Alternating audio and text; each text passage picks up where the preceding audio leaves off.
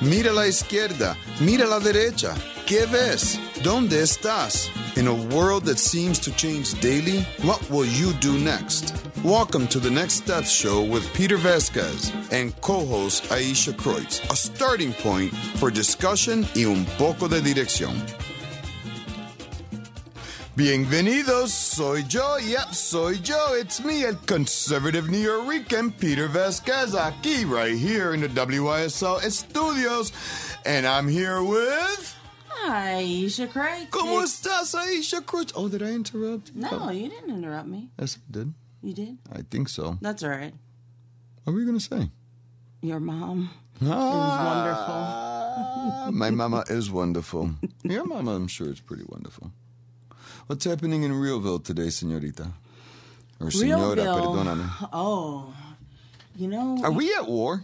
you know what's? Yeah, I was just gonna say, you know what's happening in Realville. Um, I literally cannot understand or am uh, what's the word? Uh, uh, uh, uh, uh, feel like I'm in the twilight zone. Uh, recently, how are all these Christians listening to followers and believers in Islam, the Quran over the Bible, Muhammad over Elohim? I like, I, I'm like really almost flabbergasted at the fact that uh, of, of all of that, um, you know, as it's pertaining to some of these things happening on the world stage. Uh, and that's really sad. real.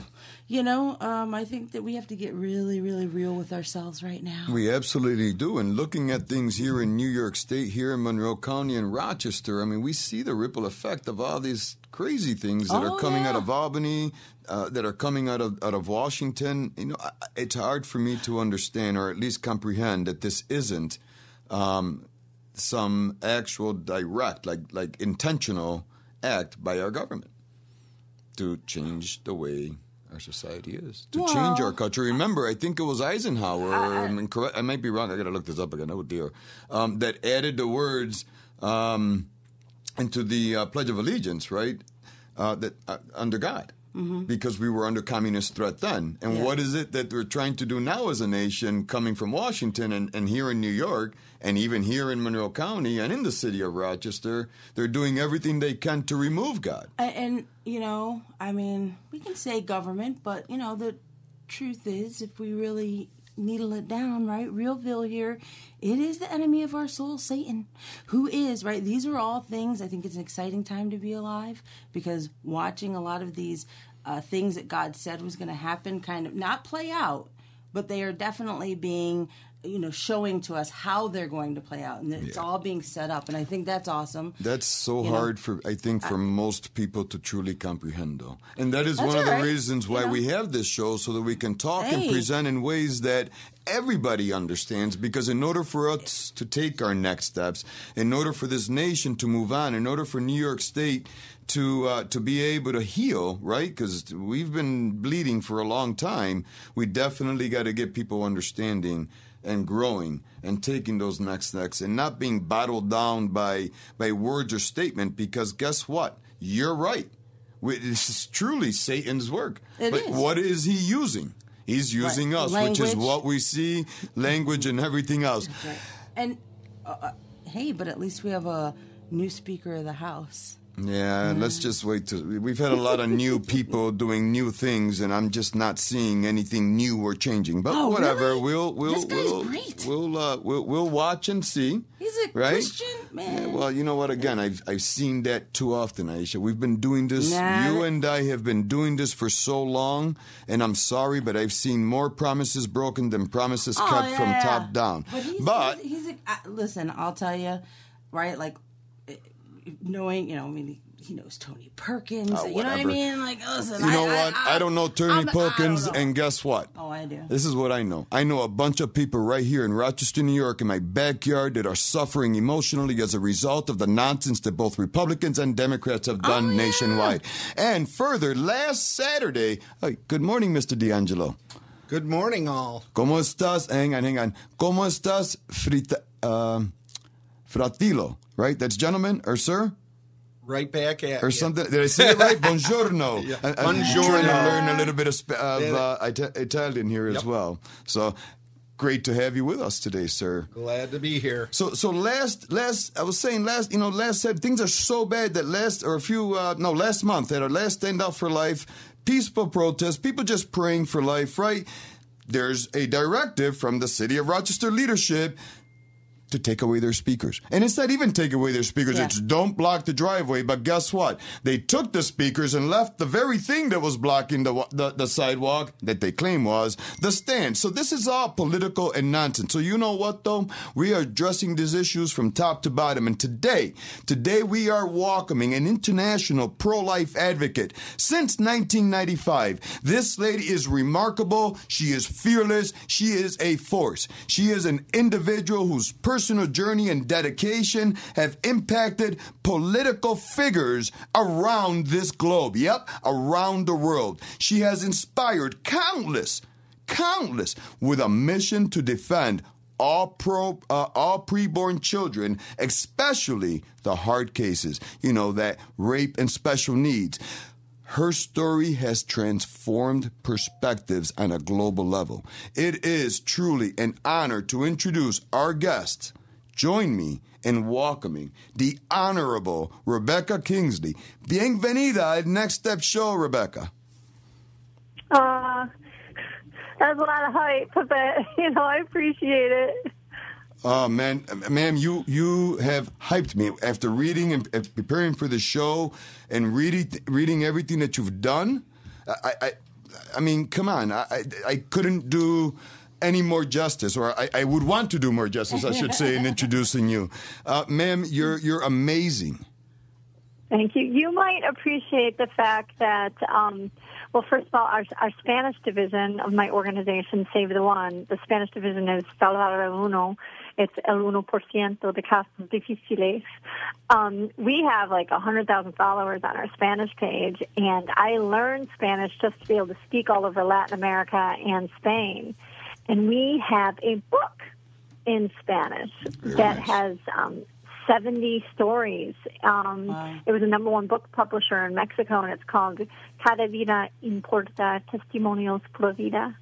Bueno, bueno. Me alegra saber que, es, que, que usted, que tu organización está hablando con la comunidad hispana because it's important, right? I am, I am honored and glad that your organization is working directly, especially in the Spanish community, on this issue because as a culture, the thought of abortion is almost like, just like it, it, it doesn't even cross our mind, especially in, in generations. No, right. However, second, third, fourth generations, especially here in, in you know in the mainland America, are being vam- bamboozled, uh, Rebecca, and, and I know you know that. Um, And all over Latin America, you know, look what happened in Chile and in um, Mexico now. Oh my goodness. Uh, yeah, it's it's really tragic that um, there's this movement all over Latin America, and you know, thankfully there's still nations like Peru where you know there's no abortion; they have no exceptions. Um, Oh, but they're pushing it all over, you know, all over Latin America. That's right. You know, and, and right. If you don't, uh, you know, if you want money from the United States, you got to take some of the, you know, the, the genocide that goes along with it uh, for children as well. Um, and, and, and Rebecca, so nice to hear from you. Uh, by the way, you know, I think you know, as you know, I will echo Peter's sentiments. You know, I think you're amazing. And if, if you go could way just back, we do. Um, you know, and I just uh, have always not just been, you know, impressed with you, but just you know, presentation, all of the things uh, that you stand up for, and, and giving honor where honors due. But if you could tell everybody, you know, our listeners, just a little bit about yourself, who you are, and what inspired you. You know, I know you, so it's a little different, but Yeah. Yeah. So um, I was conceived in rape, you know, and um, just cutting to the chase. Yeah. uh, my birth mother um, was abducted at knife point by a serial rapist.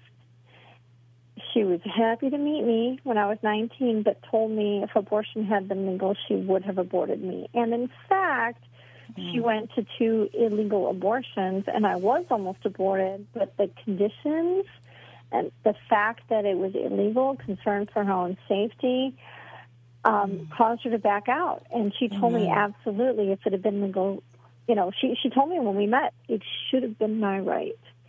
Mm. And um, she maintained that position for six years mm. after we met, and then changed her mind. And now, decades later, we're both so thankful. Um, actually, her birthday's tomorrow. And um, today, today is my son Kyler's birthday. Your son. Happy happy birthday uh, to both. Yeah, and uh, uh, and just so um, as you bring up uh, Kyler, if you would, um, you know, a, little bit. You know, we're going to talk about the pro life thing, but today is you know your son's birthday. He's not with us. Um, could you tell the audience just a little bit about you know what had happened with that as well? I'm sorry. Yeah, yeah. It, it, it's uh, oh, go ahead. Let me just say, um, you know, so I, I lost Caleb and Kyler. As you know, they were 18 and 20 um, to fentanyl poisoning. They got fake Percocets. Jeez. And, um, you know, they thought they were celebrating. Kyler had just graduated that day, um, or, you know, the night before. And um, they died along with a 17 year old girl, Sophia. Um, and the, the drug dealer got 8 to 15 years for killing three people. Oh dear. Um, you know, I didn't know what fentanyl was. My boys, they, di- they didn't want to die. I actually literally saw their writings. Like Caleb, um, we found their writings like the day after they died three years ago. And, um, you know, Caleb thought he was safe because he wasn't doing anything that he thought would kill him. Yeah. Um, and he, he wrote about that, and it's just, you know, shocking with every warning that they still chose to, you know, experiment. Yeah, Um, that's a that's a and, and they were at a party, um, right? And so you know this happened all on the same day. Um, Well, we knew something was going on the day before, and I asked my ex-husband to take them to rehab. Um, he headed up Celebrate Recovery at church. I thought he would know where to take them, and he said, "Well, I can't find a place tonight." Turns out, like you can. Just want everybody to know there's places you can go, like Families Against Narcotics. They'll take people right away. They'll pay for an Uber and take you. Um, but yeah, he took them to a hotel and I, you know, I told him you can't leave them alone, and and he did. He left them alone. And um, when he didn't hear from the next morning, he didn't tell me. Like I'm worried they're missing. They, you know, there were a bunch of young people there when I dropped them off. He didn't tell me any of that. And um, yeah, the Right. the girl was missing, and her parents, you know, were concerned, and they were the ones who had the police go to the hotel. And he got a call like 5 p.m. yeah. Um, okay, so you know, I testified before Congress in in February, and that went viral. So some of your listeners may have seen that testimony or, or heard about it. Um, I talked about you know China, how people were freaking out about a hot air balloon. Or you know a weather balloon, sorry, a weather balloon from China, and you know nobody died, and they're all freaking out. But you know, it, we have now they're estimating 125,000 this year. right. Yeah, Here Will in, die. here in Rochester, we can't turn on the TV without hearing of a case of several children that have that have Fentanyl, died and, yeah. and, and OD'd. I mean, jeepers, the state's solution to that was just more call- money. Just a little correction: we don't call it ODing. You know, to overdose assumes that you overdosed on your drug of choice. Um, these kids are overdosing when it's fentanyl. It's it, they're murder pills. It's homicide. It's not accidental. It's not suicide. It's a homicide. It's an intentional. I know that's true. And um, Thank so you for we use, we clarifying use the language um, fentanyl poisoning. You know, they're being poisoned.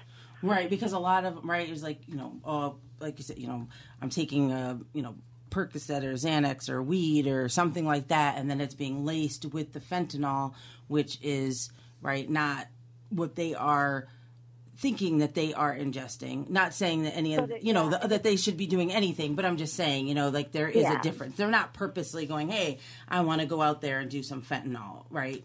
that that's yeah, kind and of the and issue. it's not laced. Like again, laced makes it sound like there's some of the real stuff in it. oh, You know okay. that, and and there's none of the real stuff in it. Oh, Um, any, and I've learned now, any of the fake, any of the Xanax that you're going to get on the streets is is likely etizolam, which is not legal in the U.S. It's, it's only legal in three countries, but it's not scheduled, um, and that's a problem. So it's hard to get convictions when it's not Schedule C. Oh, and um but it's yeah none of it's the real stuff. And then a lot of the xanax has etizolam with fentanyl or sometimes it's just fillers and fentanyl. The fake percocets that my son's got as is typical now there's zero percocet in it Oh, it's jeez. uh, it's all know that. fentanyl with fillers How are they getting a hold And, of this um, stuff? well, on the street. I mean, but how is it coming in? Where's it coming on, from? on Over the border. snapchat snapchat is, hate is a biggie I, I really, Yeah. I hate Snapchat. So, so, so That- there's an there's an active, I, I guess, drug pushing going on and things like Snapchat. I Oh, mean, yeah. the, the, the Oh, age yeah. group Oh, that yeah. that targets is is what 13 through 19 or something like that is their largest target. Oh yeah. Well, Yeah, I, I found out after my sons died that the number one drug of choice for youth are pills, and that they even have like pill parties where they just all bring pills and they throw it into a bucket. Um, my son said the first time he ever experimented, though, was in high school in ninth grade. Kids brought Xanax to school from their parents' unlocked medicine cabinets. So to all the parents out there, you know, and, and when he told me that, like, okay, I mean that's that's not good. I know it can, you know, mess up your life where you're just not functioning a 100%, but you don't die from Xanax, right? I mean, I I have I know other f- relatives of mine who had taken Xanax, and it's like people don't die from that. Um, actually, I was offered Xanax after my sons died to deal with the stress, tremors, and panic attacks, and I'm like, no way, that is not cross- crossing this threshold. It's not Right. going inside my body. Um, and I found I had to dig deep to find other ways to survive. But um, yeah, so you know they got hooked from you know thinking it's safe because the parents' medicine cabinets aren't locked. The kids brought it to school, so they think it's all the same, and they don't realize that what they're getting is is deadly. Oh my Um, gosh. and then after I testified, because it went viral, the next day President Biden talked about it, and he was addressing House Democrats, and he said, "Oh, you see that poor mom who lost her two sons?" And then he says, "Well, it turns out the fentanyl they got came during the last administration." oh my ha. Yeah, and so um, that was in the news all week, you know, and I demanded an apology, of course. And then at the end of the week, his press secretary was asked whether he'd apologize. And she said he was showing empathy. Because he said, well, mom, I, I don't know. But eh, look, um, it, to bring it full circle, you know, it, this is the same spirit of death as abortion. And, you know, the thief came to steal, kill, and destroy. Absolutely. And, and you know, God didn't take my children; He received them. But the thief came, right, to steal, Yes. kill, and destroy. And and it's the, the people who don't care about this issue are the same people who don't care about abortion because they're population control people. Yeah. Yep. You know, they mm-hmm. think that human beings are the worst thing to happen to the planet, so everything's related to that. The whole transgenderism, they love the idea of sterilizing children when That's they're right. young. That's why Planned Parenthood is the number one sterilizer Yeah. around the country. Yeah, and, and and becoming more, you know, like their model now that again abortion is, you know, a little more unthinkable as science, you know, again that they are moving their model to do a lot of these, you know, transgender transitioning things because again, as you said, the eugenics of it, it's all the same spirit. Um and you know, and again, and I it just bringing it full circle like you said, you know, it's amazing, you know, that you, you know, and, and people like you, right, still standing. Not only, you know, right, we're talking about product of uh, rape, surviving abortion, being able to, um, right, survive your two children, um, you know, Three. being taken I, I lost my baby girl 23 years ago. 20 so you know so, yeah surviving you know a- as a person right and still being able to have the heart the compassion the understanding i think uh, you know when we were talking about what inspired you and seeing how all of this plays out that there are a lot of things that happen and being able to still you know be here standing uh, with a heart of love and compassion and not kind of going down this other road i think those are the type of things especially at the end of the show when we're talking about next steps when we're talking about how do we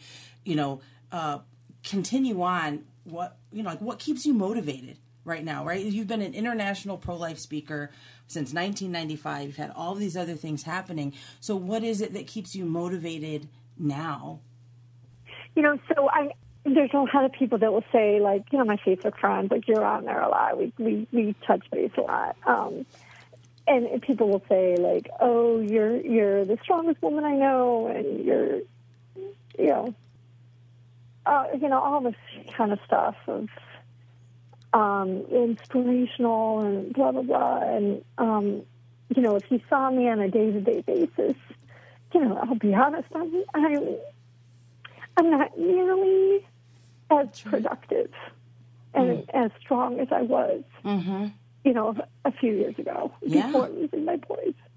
Um, it's been hard. It's it's really hard. Um, I had a friend who said that um, it takes no effort to drown. Right? You don't have to do anything to drown, but you have to fight to survive. yeah Absolutely. See, Rebecca, I tell you, this conversation in just the first 20 minutes have has put a lot into perspective for me to reconsider and consider.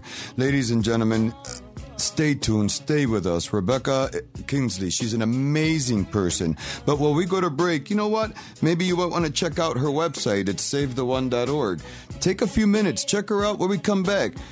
This is the Next Step Show with Peter Vasquez and my homegirl Aisha Kreutz, and today we got the voice of Liberty, Mr. D'Angelo, with us. We'll be right back on the WYSL station.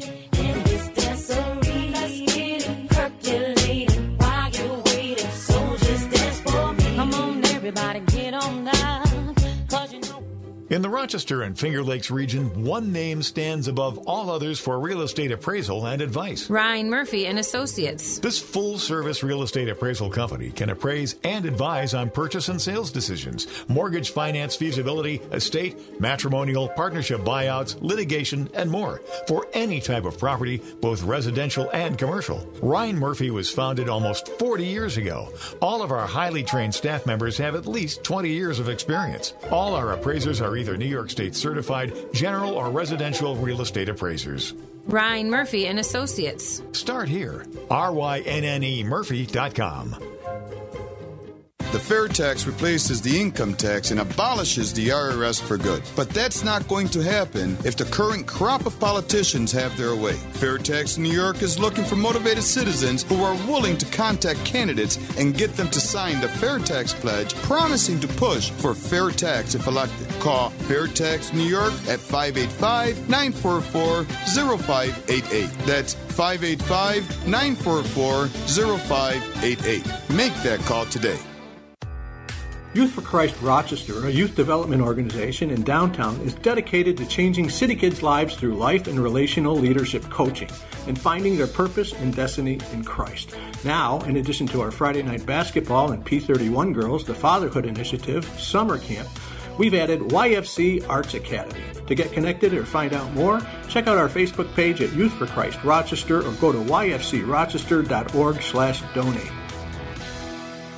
Hi, this is attorney Christine Demo Vasquez. For more than 18 years, I've provided quality legal services tailored to the unique needs of each of my clients. I take the time to educate my clients about the law, explain the legal process, listen carefully, answer questions, and keep my clients informed throughout the process. An attorney who understands the complexities of the family court system. Call attorney Christine Demo Vasquez at 585 427 0675. 585 427 0675. Peter Vasquez and Aisha Kreutz, the Next Step Show on the WYSL stations. Welcome back to the Next Step Show, ladies and gentlemen. We're here today with Rebecca Kiessling. Ladies and gentlemen, please keep listening because, listen, there's a lot to learn here. Rebecca, you're still with us, right? Yes. Oh, wonderful. Hey, uh, you know, you, you've changed the perspective of some high profile people like Governor Rick Perry, even Newt Gingrich. I mean, who would have thought? Um, how was that experience? Can you tell us how that was received, how that happened? Because if that's possible, there's hope.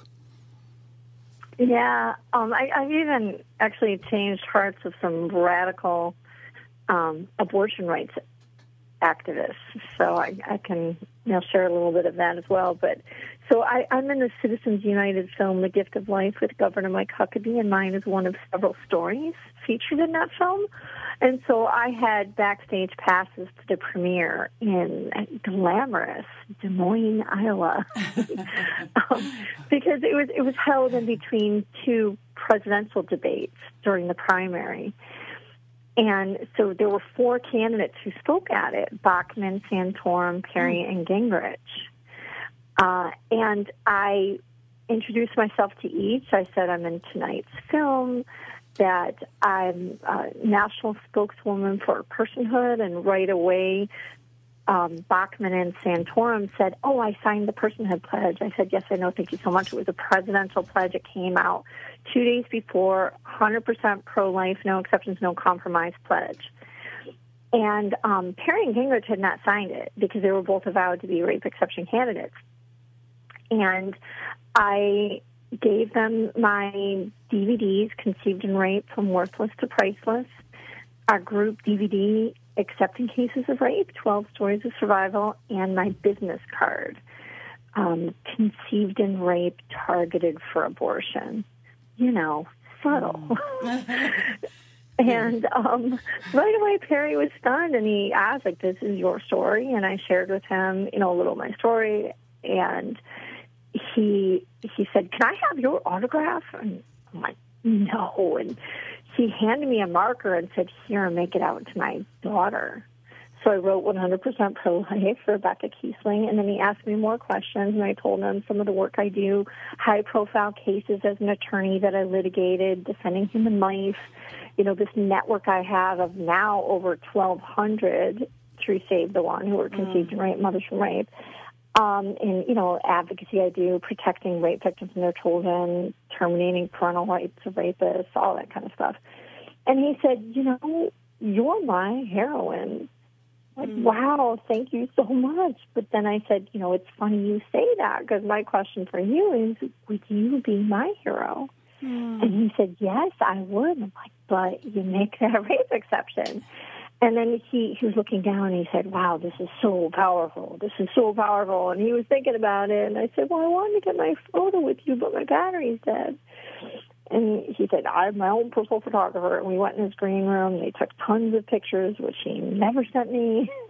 um, but he included video footage of me, him, and, and Huckabee in his ad campaign. But um, he was looking at the picture saying, I just can't imagine. I just can't imagine. I look up at him and I explain that when you make that rape exception, that's like saying to me that I deserved the death penalty for the crime of the man who raped my mother. Mm. And I and then I said, you know, the Supreme Court, Coker v. Georgia, said that rapists don't deserve the death penalty. And in Kennedy v. Louisiana, they said even for child molesters, it's cruel and unusual punishment. And he was nodding his head.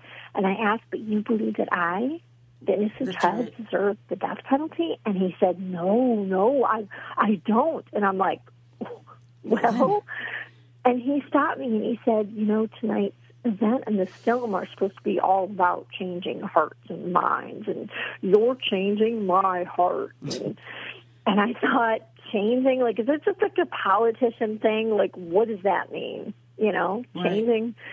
And so I looked up at him and I challenged him no more rape exceptions. And he looked me in the eyes and promised no more rape exceptions. Mm. And he went on to say that he just never put a face to the issue before, never considered it, for, you know, from the perspective of someone like me. Um, nine months earlier, they had passed a sonogram bill in Texas didn't even say that a woman had to view the ultrasound before an abortion, just said she had to be told she had the opportunity. And they put a rape exception in. Yeah, I mean, it was the culture was was not 100% pro-life in all of Texas. he went back and he changed the culture of Texas. He he signed the personhood pledge the very next morning, and so did Newt Gingrich. And Newt Gingrich later wrote about it and you know credited my story with changing his heart. And then, um, you know, Texas passed some of the best laws in the nation, no exceptions. Yeah. So, you know, that was during a presidential campaign. And then, um, and, and, you know, the, the media gave him a pass because they didn't act like, oh, he's so radical because there was a woman, a real person attached to the story. And they don't want to talk about real people. Right. Um, and he didn't say anything awkward. He didn't say anything stupid. He just said that he could not look me in the eyes and make that exception. Um, and then some radical, you know, activists. One example: this girl had appeared topless on stage the last time they had a pro-life speaker, and uh, she was there. You know, they warned me about her, and she came with all her friends, and they were snickering, and and you know, there was a hearty Q and A, and afterwards she asked to speak to me um, separately from her friends, and she was crying, and she told me about her how she'd been raped when she was young, and I you know tried to tell her how sorry I was to hear that, and she's like, "Please let me finish." And but she just said, "You know, I swore that nobody could ever change my mind about abortion." And she's like, and then she started bawling, sobbing, and she's like, "But you're a good person, and I can't look you in the eyes and say those things. I can't look in your eyes and say I think that your mother should have aborted you. I think that mm. you should be dead. I can't do that." And she's like, "You've completely changed my mind about abortion." And I, I just hugged her, and I'm like, "Thank you, you know, thanks for sharing that." You know, and she said, "Oh, you don't understand, though. I'm not going to have any friends after this. All my friends are really angry. I'm here talking to you." And I look over at them, and, and they're angry. You know, they're really angry. And um, and I said, well, you know, that's okay. You know, look, the pro-life people, you know, the students for life, they're going to embrace you. And she's like, no, you don't know what I've done. And I'm thinking, no, I I do. they told me, you know.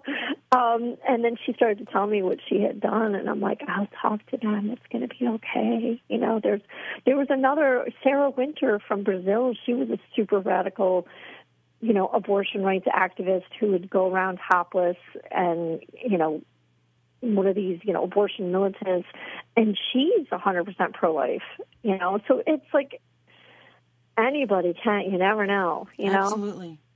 Yeah. I, Oh, go Yeah, ahead. go ahead. No, uh, I was just uh, uh, on the note of abortion. You you put a big focus on, uh, you know, you call them uh, hard cases, uh, cases where where abortion is being considered due to uh, rape or incest. Why do you put a big emphasis there? I mean, what's So, you know, I always say they call us hard cases, you know, and how would you like to be called a hard case? I mean, it's all of those with the hardened hearts who are the hard cases, right? They're the tough nuts to crack. Um, but you know, we're just as worthy of love and life as anyone else. That's right. Um, but you, you know, you always hear people say, "Oh, you know, it's only one. Well, what percentage do you have to be before you matter? Um, and you would never, you know, support a law that would authorize rape victims to women to just say they're raped, and they would be allowed to pay someone to kill their rapist. you and know- one percent just of for the innocent child. Yeah. You know what gets me? We were talking about this not that long ago, Aisha. Um, if Gosnell was alive to, or was, was doing what he was doing today in New York State, he'd be hailed a hero, not a murderer and a rapist. Well, he wouldn't be convicted. He won't be He wouldn't be convicted. convicted. Right, right, right. He would- he would be, you know, like, oh, okay, that's all right. And how far, you know, and you were talking about, you know, t- w- telling your story, right? Putting the face um, to what people are actually saying, right? And how changing, you know, changing people's minds, people who are radically pro-abortion, right?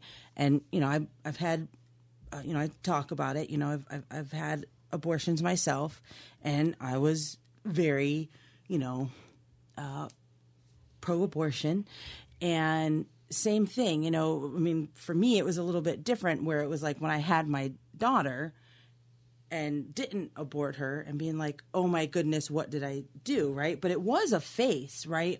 All of a sudden having it become real to us and me going, you know, oh, I can't spit on the pro lifers. And then, you know, now I'm so pro life. But really, I think that that's something people need to understand, right? Like wh- why it's so powerful is to go and how are you going to look, you know, Rebecca, um, you know, did change you know my mind as well not that i ever you know get in pro-life without exceptions but it was right like hearing those stories and, I'm pro-life without exception. Yeah. There is, I mean, but but for me, and, and many would say, "Oh, that's that's because you're all ultra Christian and all this other stuff." And I'm like, no, I'm just, I mean, yeah, I, I guess I could say. I'm not ultra. I love God, I love Right. Jesus, and, and that enough gives me purpose. But I too was almost aborted because my, I was, my, I mean, they told my mother either either you or your son are going to die. There's a little joke in the family that I was the mistake because you know they weren't planning on it, and she insisted. She said, no, I mean, either my son or me will live, but that would be God's choice. And guess what? My mother is now in her 80s, and and I turned 51 this year, and I'm very excited. Uh, uh, a a a, a uh, you know, my son's mother, she had an abortion and, and lied to me that I, 'cause I was a little Yeah. ignorant at the time. And I, I, she said, sit in the van where we're right there at Planned Parenthood. And like nothing, and I find out later. So, so these things are important. But you know, Re- Rebecca, so many people. I'm so glad you were born.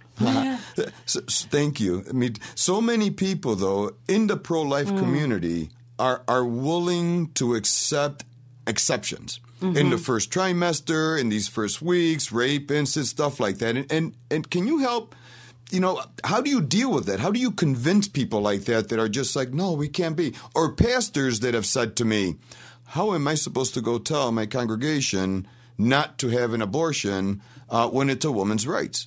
Can, can you talk to those you know, people? That, that, yeah, that's so interesting because I was just talking about this the other day because I wrote a piece for pastors because within my organization we have hundreds of blogs, okay, on SaveTheOne.com. Um, people conceived and raped, mothers from rape, post-abortive from rape, forced abortions after rape, um, birth mothers, or people who are told by doctors to abort. So we, we do specialize in defending all of the so-called hard cases in the abortion debate um, through our personal stories. But I have a piece that I wrote, and I've written a lot of policy pieces, but I wrote one for pastors because several of the women were given the green light by their pastors, and some aborted and some didn't, but their pastors gave them the green light. You know, saying God will forgive you. Well, would they say that about adultery if you went and asked your pastor, like, give you the green light? Well, he'll forgive you. I mean, we believe in forgiveness, but that really is that what you would do? No, of course not. Um, and so it's all scripture based, what I wrote. But I, I will say that my views on abortion had nothing to do with religion or faith. Um, I was raised by Jewish atheists. Okay, I came to know Christ later, and it was my atheist Jewish grandmother that taught me her pro life values. And a lot of my family members were killed in the Holocaust in the south of Poland, north of Austria. And um, so I grew up, you know, knowing that there's such hatred which exists in the world that people would kill innocent others. And, you know, other people turning the blind eye resulted in the Holocaust and millions being killed. And that's what's happening here. People are willing to turn the blind eye. It's, and it's this, you know, whole issue of apathy and, um, anyhow, well, and our humanity right like yeah, my, mhm. No no go ahead. Sorry. Well, my my grandfather had tried to coerce my grandmother into aborting my aunt, and that story came out a year after my grandfather died, and so I had to face to the issue. You know, I was horrified that my grandfather had wanted my aunt to be killed.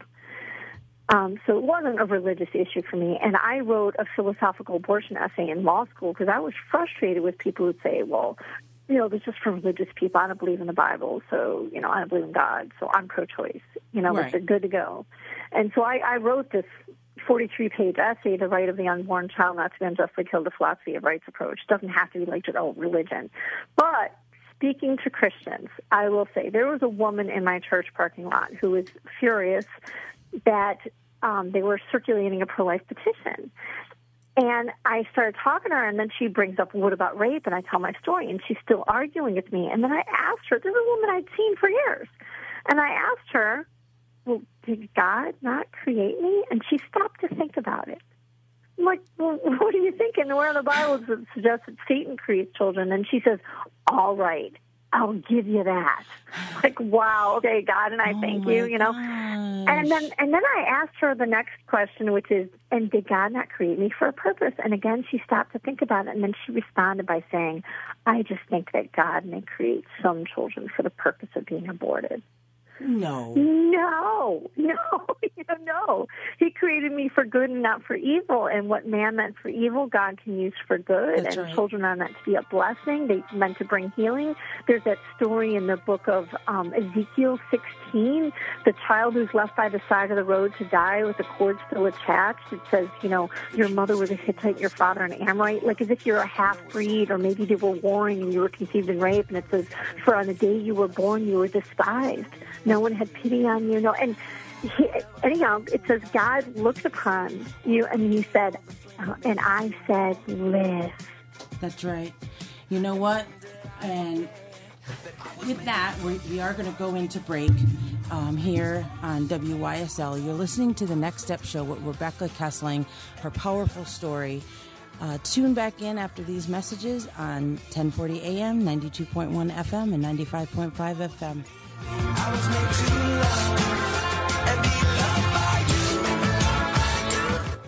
In the Rochester and Finger Lakes region, one name stands above all others for real estate appraisal and advice. Rynne Murphy and Associates. This full service real estate appraisal company can appraise and advise on purchase and sales decisions, mortgage finance feasibility, estate, matrimonial, partnership buyouts, litigation, and more for any type of property, both residential and commercial. Rynne Murphy was founded almost 40 years ago. All of our highly trained staff members have at least 20 years of experience. All our appraisers are either New York State certified general or residential real estate appraisers. Rynne Murphy and Associates. Start here. R-Y-N-N-E Murphy.com. Hi, this is attorney Christine Demo Vasquez. For more than 18 years, I've provided quality legal services tailored to the unique needs of each of my clients. I take the time to educate my clients about the law, explain the legal process, listen carefully, answer questions, and keep my clients informed throughout the process. An attorney who understands the complexities of the family court system. Call attorney Christine Demo Vasquez at 585 427 0675. 585 427 0675. Next Steps with Peter Vasquez and Aisha Kreutz on the WYSL stations. Welcome back to the Next Step Show here in good old Rochester, New York. Sí, señoras y señoras. Eh? Did you say ghetto? Did I say ghetto? No, no. That's what I thought you said. I thought he said ghetto Oh, Rochester. gosh, no. I would never call Rochester ghetto. Absolutely not. You know what I would call it, say? though? What, what did you say? I said, welcome to good old Oh, Rochester, good New York. old Rochester, New York. Okay. I was need born and bred right here in this beautiful city. Yeah. I mean, it looks a little different than when I was a kid. Yeah, it Uh, it looks seems actually like, well, you know, I mean, a li- Listen. little, little less active. You know, did you see? Uh, it, was- it was a great actually video. Uh, Marcus William, he was walking through the. Did you see that video he did? Mm-hmm. You know about the there was a car that uh, went through a house, a brand new Mm-hmm. like housing uh, thing, and you know just talking about the the criminals, the things that are going on, and how. It, uh, like nothing is happening. It's brand new, right? It's, it's since, built, since January. That is political. It is. I- I'll tell you, ladies and gentlemen, crazy. I've been. on- anyway. we Oh. have been, not just me. Aisha and I have been on record saying that politics is surely not the answer to the things that uh, that we're seeing, um, especially in the pro-life movement. Especially when we're talking about things like life, liberty, and justice for all. The whole pursuit of happiness, right? And the still have to thing is accountable. Politics is surely the biggest problem. And if we're going to look at it in the sense of what do we got to be fighting against, it's the politics. And we got an election coming up soon, ladies and gentlemen. Listen, you need to read up. But forget about the politics because we've got real people working right here. People like Rebecca Kiessling was Save the. One. Dot, I'm sorry, was SaveTheOne.com. Uh, yep, SaveTheOne.com doing phenomenal things, changing people's minds at a global level. Yeah, and you know when we went off into break, It's more than any politician's ever done. That's right. Um, you know, Rebecca, you were talking about, you know, talking to pastors, Christians, uh, letting them, you know, talking about, hey, you know, like I have a purpose and life and all of that. But also, um, if you could, and it might touch on something we were talking about earlier when it, you know, came when you're talking about getting through some of the hard times, uh, losing your uh, sons uh, a few years ago uh, to fentanyl as well. But how is it, you know, like talking to women themselves who have had an abortion uh, or having to go through, you know, the experience of rape themselves? I mean, what are some of those things, techniques that you, you right? You said it's so easy to drown, but you have to fight, right, to, to something else. But just from a realistic standpoint, you know, real life is a mess, kind of like you were saying before. So, I mean, what would you say some of the things that you do, um, I don't know, to be able to function and, and, and getting through? Yeah.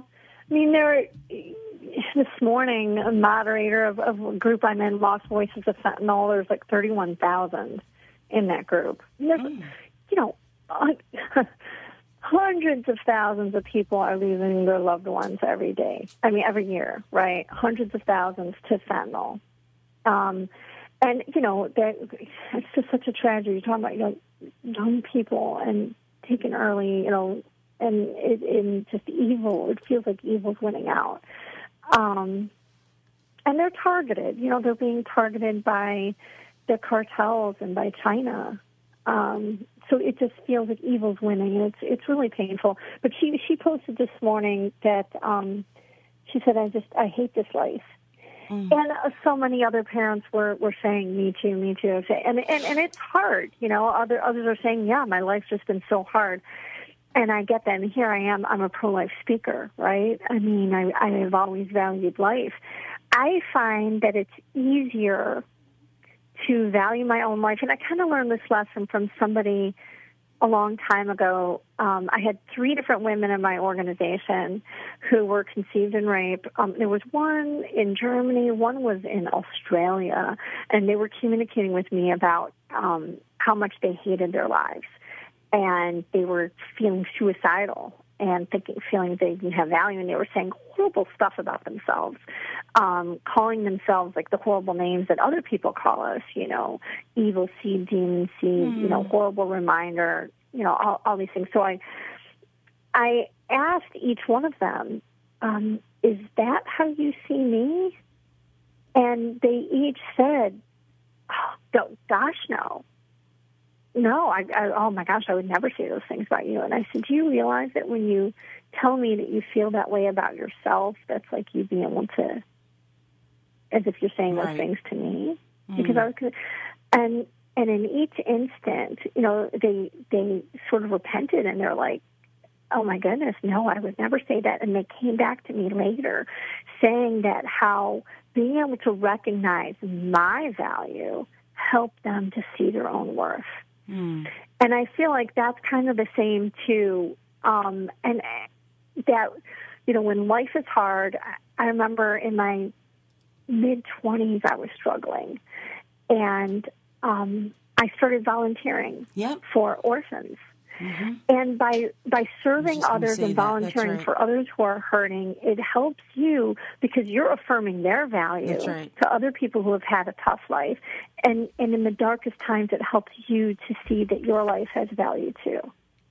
I, I was just going to say that too, you know, about volunteering, um, right? That when you're serving, when you're giving back to, you know, like when life is just, you know, what is the purpose? What is going on? How am I going to get through? Being able to go and give to somebody else, um, you know, pour out what you don't have or what you think you don't have to somebody else has been one of the most uplifting times of my life personally as well. You know, um, and, uh, and it pulls you out of your own, you know, Funk. situation, and it gives you a sense of purpose. and realizing you're not, you know, like your life isn't the worst in the world, right? They somebody always kind of has it worse, right? There's always But going we should be never look at it as is worse or not worse. I mean, we are all living our life as God intended us to live. What we should do, I think, is realize that we, though? we are well, we should be realizing that that we are not unique. Our situations is shared, and if we pause for a minute and, and, and allow, really from a God perspective, biblical perspective, put our burdens on God, we'll be able to see and we'll be able to hear voices like Rebecca's to help us guide, or, or like, you know, dealing with cancer, like the young lady we had on mm-hmm. our show last week, right? Just, just Stop. Little emotional intelligence. Hey, Rebecca, can I ask you one more question? We're running towards the end of the show.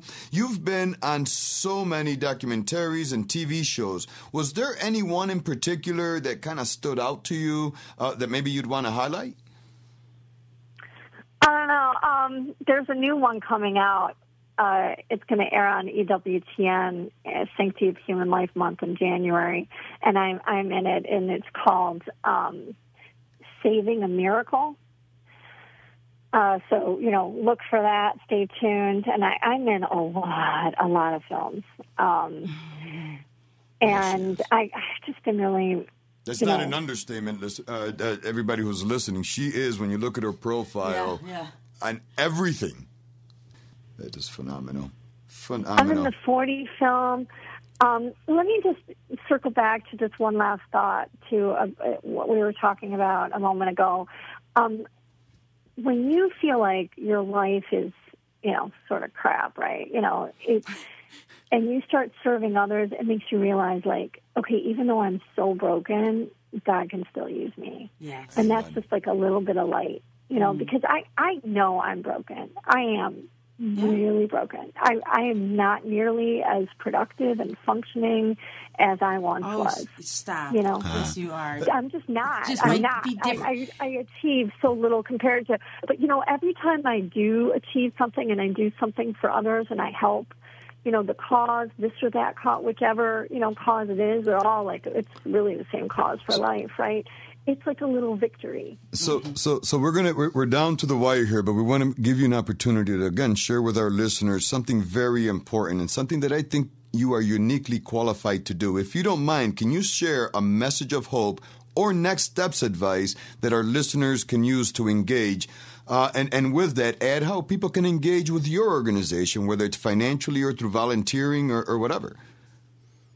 Yeah, um, so Save the One is on Facebook. It's the number one, not the word one. It's from the parable of the lost sheep. That, you know, the good shepherd leaves the 99 to save the one. And your Father in heaven's not willing that any of these little ones should perish, and neither should we. So, and our website is savetheone.com. And next steps advice? Um, be active. seconds. You know, don't be apathetic. And, um, you know, it- whether it's just if you're doing something on social media, you know, you don't necessarily have to be, you know, the one out there on the front line. But, you know, if you've never visited your pregnancy center, local pregnancy center, go visit, bring a box of diapers, um, bring some baby clothes, and, um, you know, see how you might be able to help. But, you know, even if you're not able to, to get out there, you could be doing stuff on social media and spreading the word because you can change a lot of hearts and minds through that means. And I, and I really have by people sharing our story, Absolutely. it's helped change people's hearts that I've never met. Absolutely. Rebecca, thank you for your time. I look forward to having you out again in the near future. And guess what? We'll even be live next time. Thank you so much. That's SaveTheOne.com. Bob, I think it's time for. Now, Free Soup with Aisha Kreutz. You know, in Proverbs fourteen twelve, it says, There can be a way which seems right to a person, but at its end are the ways of death. You can't always get what you want, but God will always give you what you need. Sometimes, some sometimes we ask for something to eat, food, and he gives us water. Sometimes we ask for rain and he gives us fire. Sometimes we seek God's heart, search ourselves, pray and ask with right motive without jealousy or arrogance or desires of the flesh, and we get exactly what we prayed for. Be a leader. Hey, share with us, advertise with us. Check out our website, nextstepshow.com. Que tengan una semana bendecida and never forget, te amamos.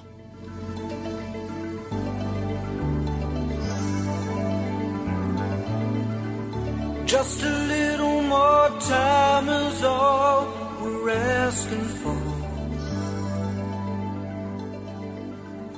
Just a little more time could open closing doors. Just a little uncertainty can bring you down. And nobody wants to know you now. And nobody